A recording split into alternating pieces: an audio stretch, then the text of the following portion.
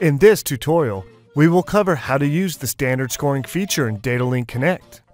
This tutorial is one of a three-part series on how to use the custom scoring features in DataLink Connect. If you are looking for instruction on custom scoring or rubric scoring, please view the other videos in the Learning Center. Once DataLink Connect is open, the first action is to add a new column header to the results grid.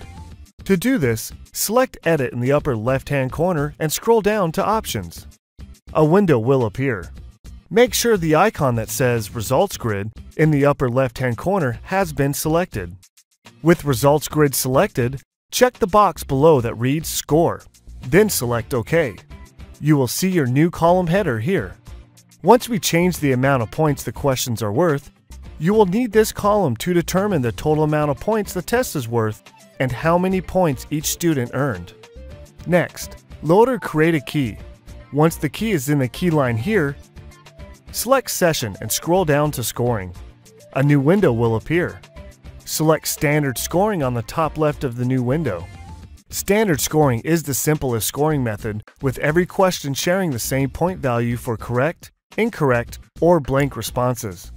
To start using standard scoring, check the box here that says Use Standard Scoring. Once the box is checked, you will notice you can enter the point values for correct, incorrect, or blank responses. The values you enter will be used on every question in the key. Please note that you can use a negative sign in front of a number to take away points for incorrect or blank responses. Once you have filled in your point values in all three boxes, click Apply to apply the new point values to your key. When using standard scoring, please know that when you change the point values, this will be the new default point value for this key only. If you want to change the scoring back to DataLink Connect's default scoring, where every question is worth one point, you will have to enter 1 into the correct response field and zeros into the incorrect and blank response fields, then press Apply. Once you have added the point values and selected Apply, press OK to close the scoring screen. On the key line, under the score column we added, you will see the increased point values for the key. Next, you will want to save the key to save the changes you made in the standard scoring screen. To save the key, select File and scroll down to Save Key. When the new window opens, choose where you want to save the key and what you would like to name the save key. Then select Save. You have now successfully changed the point values for all the questions in the key. You can use standard scoring in combination with other scoring options in the scoring screen for even more custom scoring.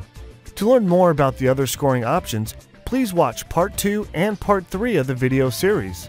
If you have any additional questions about how to use the standard scoring feature, please contact a member of our technical support team at 800 827 9219.